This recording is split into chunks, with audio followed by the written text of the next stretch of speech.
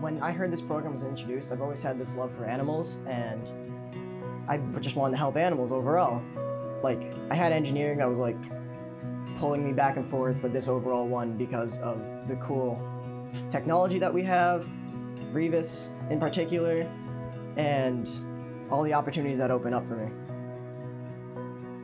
I picked this course specifically because it was really interactive. I like how when you work, it like applies to your learning. So not only does your learning come to life, but like you now can like memorize it because it's so hands-on. It's really interesting because you get to see all these different types of animals and all the different problems or like that you'll have to encounter. Most people don't get to come to school and just like pet animals and like groom them.